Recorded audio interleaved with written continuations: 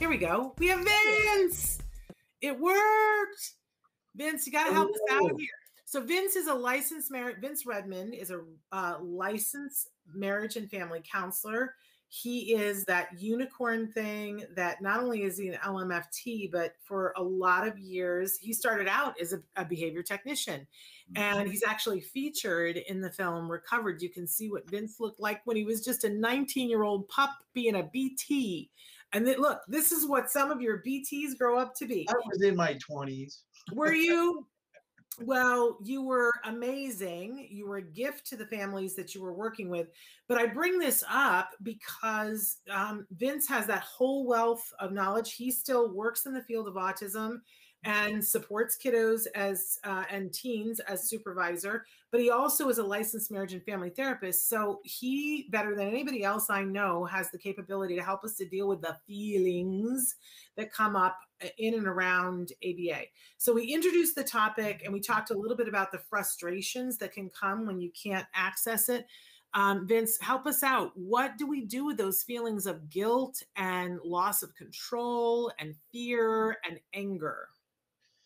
And I think yeah, and I think especially right now, there's a lot going on in in our communities, our regions, our counties, and and the such that are you know in our and I know for us, for our nation, is you know actually restricting you know the access to to treatment. So you know as i was listening to to go through that he's talking about you know what what happens when everyone's saying this is what you need to do and you can't get it. And i think mm that's the biggest frustration that I wish I had the magic, you know, the magic answer for for everybody because I know the need is far greater than what the needs are, especially right now coming out of the pandemic. Um, you know, eh, eh, my my first thing is, you know, just to answer your question, Shannon, what do we do with the frustration, the anger, the feelings? I think the first thing we want to know is acknowledge them. Why are we upset? Are we upset because we don't want to do this? Are we upset? Are we frustrated because there's a lack of of uh, experience or knowledge and and uh, resources within our area?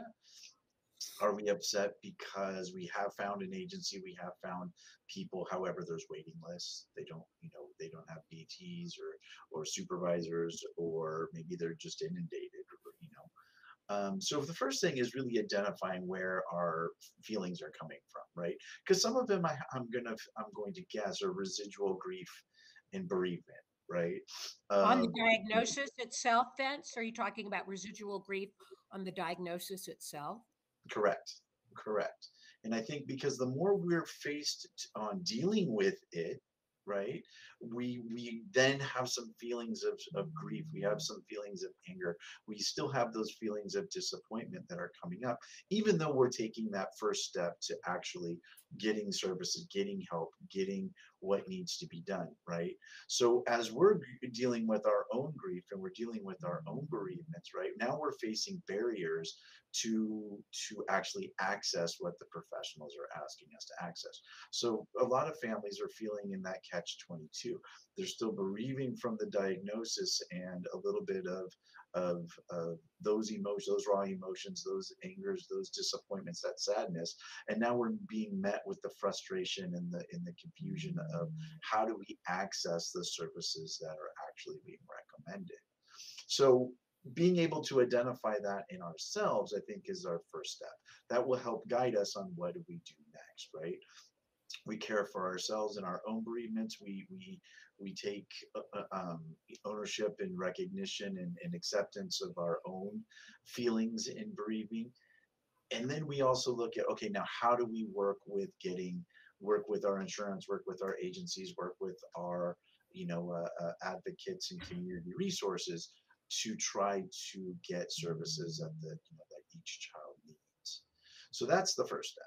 Um, now I know eh, I'm, I guess I'll just keep I'll keep going because I know one. Can I bring up one thing though? Yeah, um, I just because I that just really resonated what you said with me, Vince, and and I think a lot of times when we come into this community and there is all that grief, we can get stuck in it. But I just want to plug Nancy did a series for us a, a few years back that's called Empowering Parents.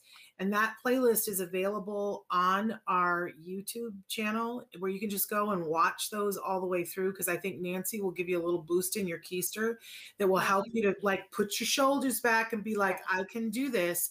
And you know, I I happen to love the band U2, and and just the other day, uh, I was listening to Bono talk about their new record, which is the title of it is "We Are the People We Have Been Waiting For."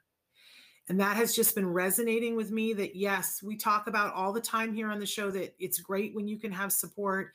We wish all of you can be with a great quality ABA provider and that you have a really qualified BCBA working on your team.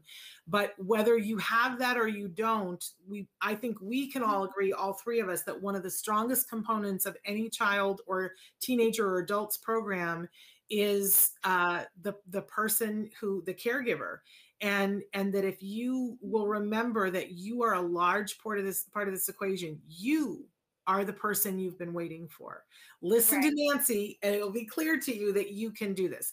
Now, I shannon i want to just give a plug for a book that was a new resource for me. It's called reality slap finding peace russ harris.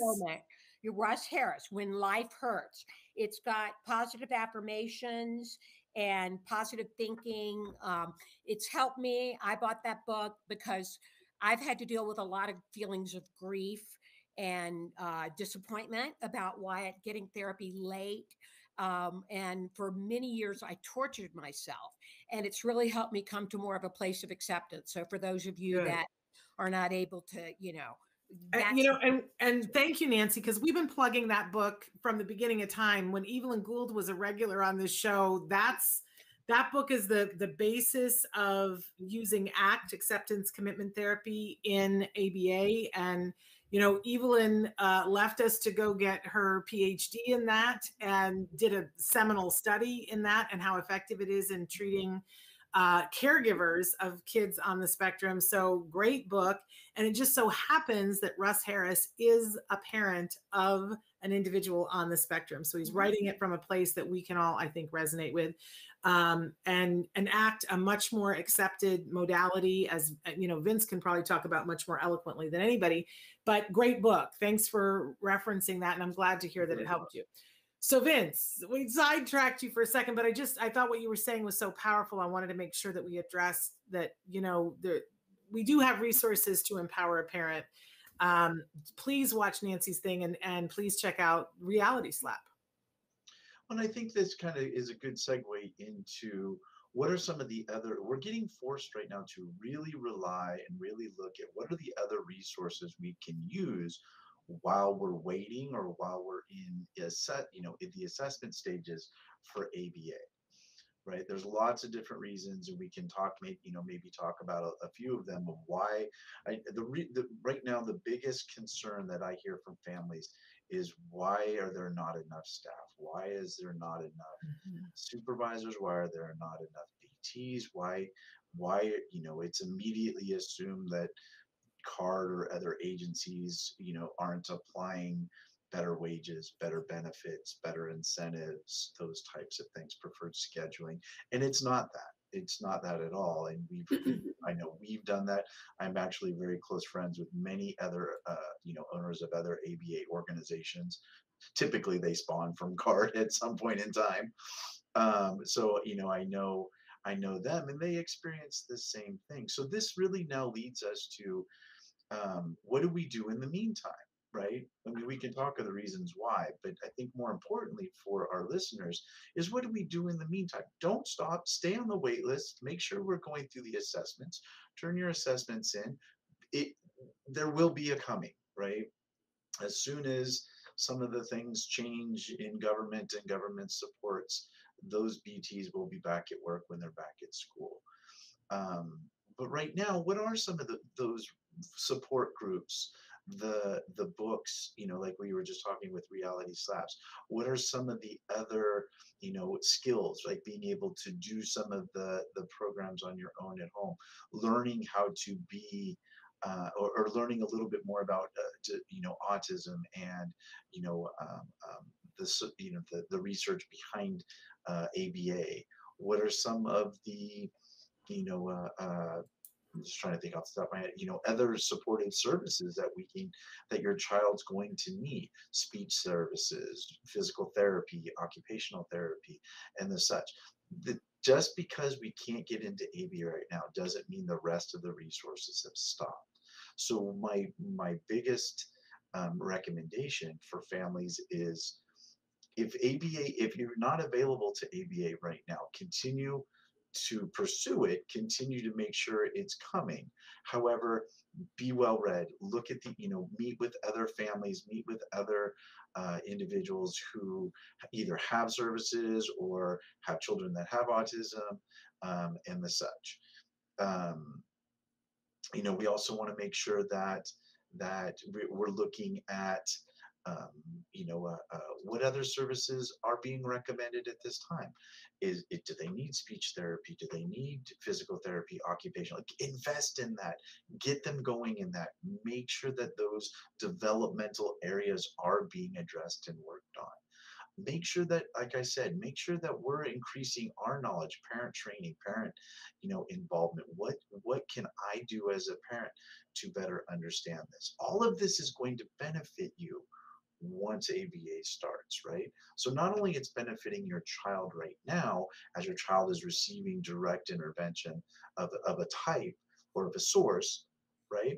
It's also going to benefit you because ABA will then come in and melt or melt all that together into a nice comprehensive program for you. I love that, Sorry, Shannon. No, you go right uh, ahead. Since you talk about uh, prep time and doing as much as you can, it's also a time that you can get everybody on board. And we did have a comment from Christina about lack of help from her partner. I, she wrote it in, so hopefully she doesn't mind me saying that. Um, the, her husband is no help with their son. And some people have caregivers as well that uh, come in. So this is a time that everybody should be brought on board, right, Grant? That's Absolutely. And I think it's also time to really explore our funding sources and what services and supports that they can give you, right? I mean, insurance can do much more than just ABA. They have other resources and groups and things that they can support. Your local, you know, uh, school districts have a list of different resources and supports that they can help your family with. Um, you know, different, you know, I know it's different per state and per area, but you know the things like regional centers or mental you know uh, uh, county mental health programs they too have resources that can assist you we have autism speaks we have you know the autism society of america we have TACA. we you know lots of you know lots of very you know nationally known um, networks that have a ton of support and resources for families. Invest in those. Invest time in looking at those. Invest time in those resources.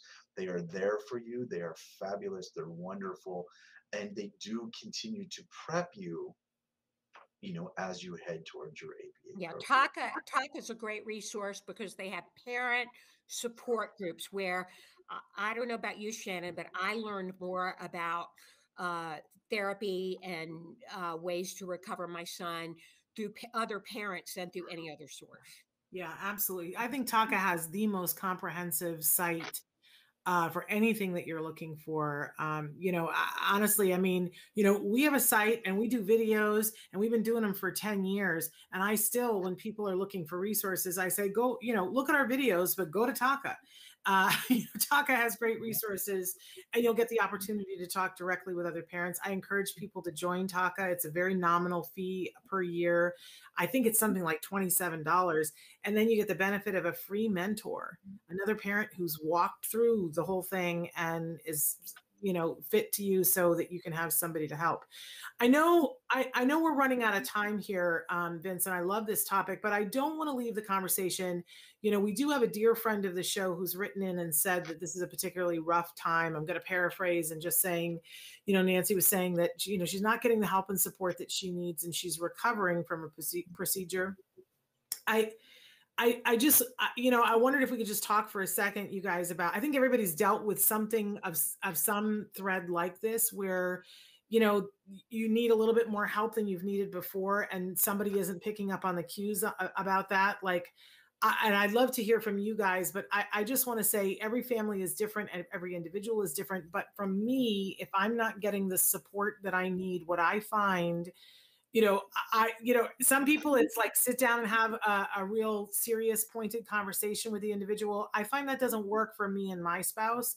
I write a letter because when I write the letter, I get to fix it. And if I say something that's inappropriate or caustic, I can edit and go back and rewrite it and do it. But I get to say everything that I needed to say w- about what I need and why I need it and why I'm counting on him to provide that. And I've got it concise, and then I can give it to him and he can process it in his own way and come back to me with a response, but it's clear. Um, so that's what I do if I'm if my uh, partner is not uh, giving me what I need, and I and I and I've failed at every other way of getting them to see it. I write a letter. Do you guys have?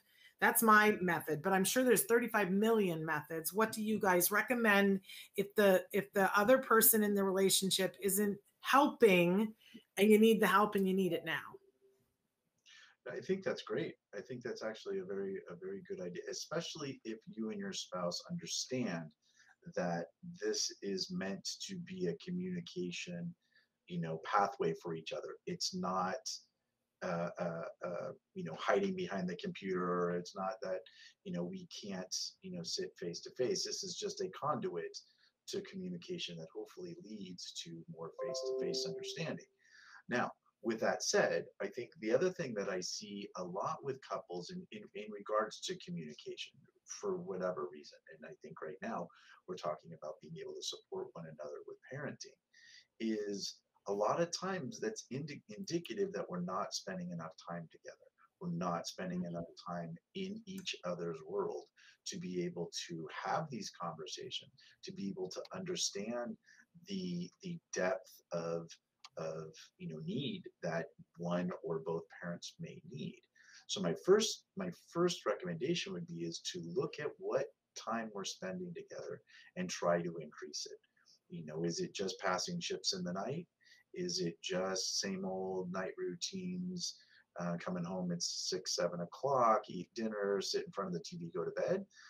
If that's the case we need to break that. We need to increase time that we're going to be communicating in my and, and I have to emphasize this distraction free no cell phones no TVs no you know uh, things that we're going to put in front of our face to block out what we're what we're actually trying to to accomplish. And this turns into a great time together. We have the the time is not just to sit there and meet with or, or to talk heavy stuff the idea is to increase the amount of time you are together. Sometimes we're talking about heavy stuff. Sometimes we're watching a movie together. Sometimes we're taking a walk with the dog. Sometimes we're eating, you know, uh, uh, we're having a dessert together. The idea is to dedicate a specific amount of time every night to just being with each other. That will increase the communication. That will increase your knowledge of your spouse. That will increase your understanding of where they are in their journey right now. And then your job is to support them in their journey. Their job is to support you in your journey. And then hopefully we get the, you know, we get each of us get what we need in the relationship again easier said than done i guess is what i want to say there. I think that's really good advice. I'm i'm still not good at that and nancy i know that you and reed had one you you guys had a stellar relationship exemplary we did but shannon i have to tell you that i got to a point and i know holly robinson peete talks about this with rodney peete i basically said it's we're going to be in this and we're going to you know work with this child or i'll do it on my own. Yeah. you either come and join me or I'm going to do it myself. Now, I don't recommend that for everybody to say, you know, the, an ultimatum like that, but um, I had to get to that point and then he got on board and we worked together. I think Vince's recommendation is a conciliatory, much better recommendation. But sometimes you do have to say, look, I'm at a breaking point here. And yeah. I need you to be, get on board. And don't forget to other resources of support like best friends and yes. parents. Absolutely. Sometimes, yeah, sometimes you have to rely on them while you're waiting for the spouse to come around. Yep, absolutely. You guys were out of time, but I just appreciate both of you so much. I want to thank both of you um, for being here with us. Vince, you're amazing. Mm-hmm. And, uh, and, and earlier. Well, and you know, it was our fault. We got something going on. I don't know what it is, uh, but we'll try to have that fixed before Monday. On Monday, it is the rescheduled show where we're having Millie Quinones Dunlap on with us. She is a pain, a U.S. certified pain specialist, talking about how we deal with pain. Because we've had a lot of people writing in on and off the spectrum, caregivers and and folks on the spectrum talking about pain, and it is a particular thing. Everybody's trying uh, really hard nowadays to address pain and not rely on things that become addictive and so we're that's what we're going to be talking about on monday. She you know it sounds like a really serious subject but she's one of the funniest people i know on the planet so i'm excited to have her here uh, because i'm sure it will make it interesting and fascinating uh, so we're looking forward to that on Monday. So you'll want to stay tuned. Nancy, thank you so much for giving up part of your time in Big Bear to be with us. We just thank adore you, Shannon. You. Love, love being here with you all. Check Nancy's Empowering Parents out on our YouTube channel. It is such a worthwhile uh, thing to go through. It, it won't take you long to go through it, but it's binge worthy. Let's say that. So, again, we'll be back on Monday. Until then, give your kiddos a hug from me. And yourselves a hug from me. Bye bye for now. Bye, everybody. Bye, Dad. Take care.